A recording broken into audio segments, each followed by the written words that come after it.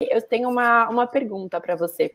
Inclusive, eu estava esses dias numa asset conversando e eles são, eles têm dívida da Oi.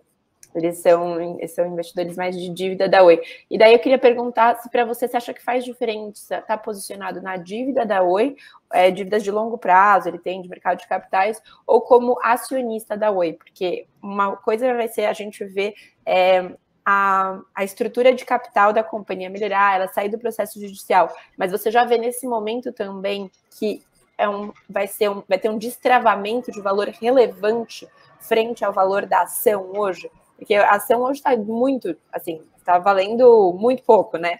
Então, se você vê. Almas. Oi? Na bacia das almas. Na bacia das almas, perfeito. É, se você vê esse movimento também de destravar o valor da ação, porque a gente vai a gente deve acompanhar então a melhor estrutural da companhia, mas você entende que isso vai ser acompanhado já na valorização da ação? Eu acredito que sim. Evidentemente existe um desafio muito grande com relação a definir timing de valorização, né? As pessoas adorariam que eu virasse e disserem, pessoal, se sair a aprovação do CAD e a Oi sair da recuperação judicial, a ação vai subir no dia seguinte. Vai valer 10 reais. É, eu adoraria que, que fosse assim, mas eu acho que não é assim.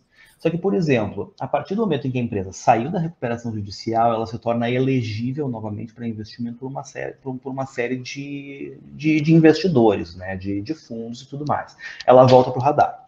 Aí o desafio passa a ser, bom, a empresa é, eliminou a maior parte das suas dívidas, é, ela tem agora o desafio de continuar apresentando melhoras operacionais. Se ela continuar apresentando as melhoras operacionais que ela vem apresentando no seu braço de, de B2C, a, Mini Oi, e a Vetal destravar valor, eventualmente o que é que a gente vai ter? A gente vai ter uma empresa operacionalmente indo muito bem com uma dívida baixíssima que não está mais em RJ.